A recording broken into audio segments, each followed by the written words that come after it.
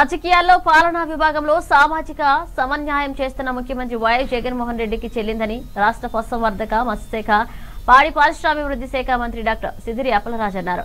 Palasa Kasibugga municipality రెండో vice chairman ఎన్నిక Palasa Kasibugga municipality council సమావేశ మందిరంలో జరిగింది. ఈ సందర్భంగా మంత్రి మాట్లాడుతూ రాష్ట్రంలో మున్సిపాలిటీ పాలక వర్గంలో చైర్పర్సన్తో పాటు ఇద్దరు వైస్ చైర్పర్సన్లు ఉండేలా పాలకవర్గం నియమించాలని రాష్ట్ర ప్రభుత్వం నిర్ణయించిందని తెలిపారు. దాని ఫలితమే ఈ రోజు పలాస కాశీబుగ్గ రెండవ మున్సిపాలిటీ ఎన్నిక ఏకాగ్రీవంగా మీసాల సురేష్ బాబును ఎన్నుకున్నారని తెలిపారు. ముందుగా కౌన్సిల్లో కౌన్సిలర్ల సనపల సింహాచలం మీసాల సురేష్ బాబు అభ్యర్థత్వాన్ని ప్రతిపాదించారు. కౌన్సిల్గా ఏకాగ్రీవంగా బలపరచడం ఎంతో శుభపరిణామని అన్నారు. ఈ కార్యక్రమంలో municipal chairman Balli Giribabu commissioner T Rajendra Prasad తదితరులు పాల్గొన్నారు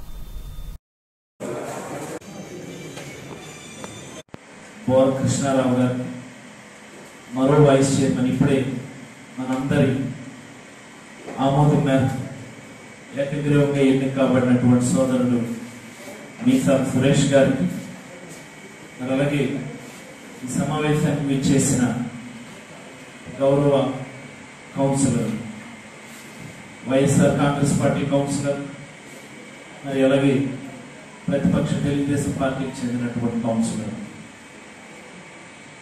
మరి అలాగే ఈ వైస్ చైర్మన్ ఎన్నికకి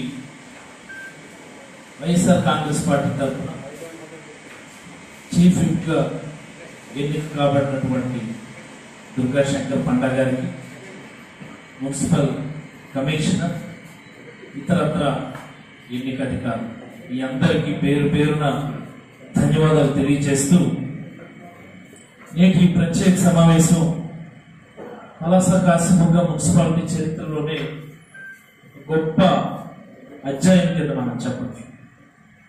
ఎందుచేతంటే ఈ మున్సిపాలిటీ ఏర్పడి సుమారుగా రెండు దశాబ్దాలు పైబడి కావస్తుంది. ఈ కౌన్సిల్లో ఈ పలాస కాశీబుగ్గ మున్సిపాలిటీ కౌన్సిల్లో ఒక మంచి రాజ్యాంగబద్ధమైనటువంటి పదవి ఒక దళిత సోదరుడు చేపట్టినటువంటి